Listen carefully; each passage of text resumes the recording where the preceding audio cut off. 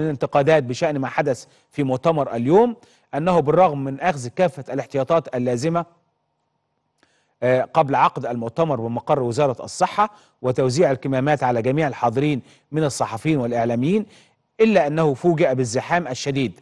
وللأسف هكذا يقول وزير الإعلام وللأسف لم يكن آه، آه، أمامنا سوى المفاضلة بين أمرين.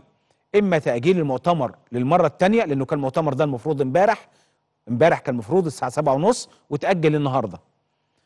أو إلغاء المؤتمر تماما مما يعني عدم صدور أي بيان اليوم. ولكن تم عقد المؤتمر ده بيان وزير الإعلام في عجلة والانتهاء منه سريعا فلم يستغرق آه، المؤتمر سوى القليل من الوقت لصدور البيان وذلك منعا لانتشار الفيروس موضحا أنه تم آه، الاتفاق على عقد المؤتمرات آه، القادمة في أماكن مفتوحة وجيدة التهوية ستكون على الأغلب مقر وزارة الدولة للإعلام في جاردن سيتي. إذا هو ده الأفضل. ليه بقول الأفضل؟ لأنه اللي حصل النهاردة ما ينفعش يحصل. يعني كان ممكن بالمناسبة يتم آه، آه، تأجيل المؤتمر ساعة لوضع ضوابط معينة لأنه زي ما بقول لحضراتكم ما كانش ينفع يحصل هذا المؤتمر ب- بالطريقة اللي قدامنا وخاصة المؤتمر اللي بتعقده وزارة الصحة وزير الإعلام. فالرسالة كمان كانت تبقى لازم تبقى تخرج من هذا المكان بالطريقة الإيجابية. تاني بقول بالطريقة الإيجابية. وإنه المؤتمر اتعمل خلاص والناس اشتغلت واتكلمت وكده فبكرة يتعمل مؤتمر في مكان أفضل في مكان أوسع لأنه كمان يهمنا الإعلام كله يبقى حاضر. يعني القنوات كلها تبقى حاضرة ومهم كمان القنوات لأنه الرسالة الاعلاميه النهارده تبقى رايحة للدنيا كلها من كافة القنوات آه، مصرية عربية أجنبية اللي تغطي لأنه هذا ال ال ال ال الوباء موجود في العالم كله فكل الإعلام الدولي بيتابع يعني إحنا بنتابع اللي موجود في العالم والعالم بيتابع اللي موجود في مصر. فوجوده في مقر وزارة الإعلام أو في مكان افضل أوسع هو ده المهم. ولكن يتم التنظيم زي ما وريتكم من شوية الصفوف يكون متباعدة متر ما بين الصف الأول والثاني واللي بعده واللي بعده واللي بعده ايا كان العدد بالمناسبة. ما إحنا بنشوف مؤتمرات كبيرة بره بيحصل فيها كده. ومسافات متباعدة ما بين الأشخاص اللي قاعدين زملاء الصحفيين والإعلاميين اللي بيحضروا يبقوا في مسافات ما بينهم وهم قاعدين في الصفوف مسافات وكل واحد الكمامة بتاعته. ما يبقاش حد من غير كمامة. إحنا لازم نقدم الصورة دي للدنيا كلها. المنظر ده ما كانش ينفع يبقى موجود بالمناسبة يعني. تاني بقول ما كانش ينفع. ولكن خلاص المؤتمر وزير الإعلام قال الحقيقة وأنا بحييه وبشكره هي دي الشفافية.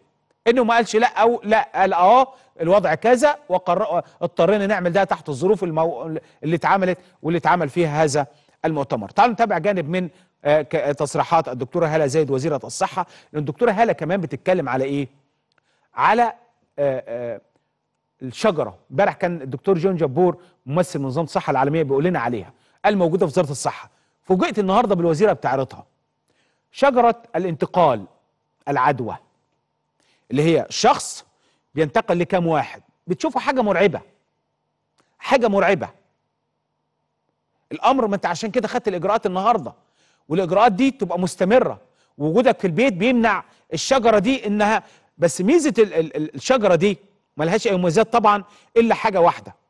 إن أنت كدولة ومؤسسات ومن خلال الاجراءات اللي بتعملها بتصل الحالة الحالة الواحدة كام واحد مخالطين بهذه الحالة؟ بتوصل لهم. بتوصل لهم. الصين كان بتعمل ده من خلال ال- ال- التكنولوجيا. ال- ال- ال big data اللي عندها. ووصلت لل- للأشخاص كلهم في, في كل مكان. مين كان في الحتة دي؟ كاميرات مصورة جايبة عاملة تكنولوجيا الصينية. وصلت لده.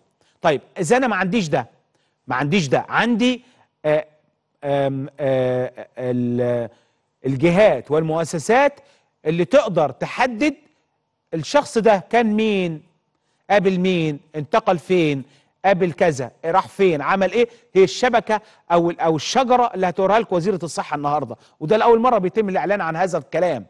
لأنه كمان لازم الناس تبقى عارفة هو إحنا واخدين الإجراءات دي كلها مش إجراءات أنا. دي توصية منظمة الصحة العالمية. الإجراءات اللي ماخداها مصر توصية من منظمة الصحة العالمية. يعني مصر مش بتعمل إجراءات من دماغها. لا دي توصيات منظمة الصحة العالمية. والعالم كله بيعمل. بس مين سبق ومين اتأخر؟ هو ده الفارق. ما بين دول سبقت زينا ودول اتأخرت كتير قوي.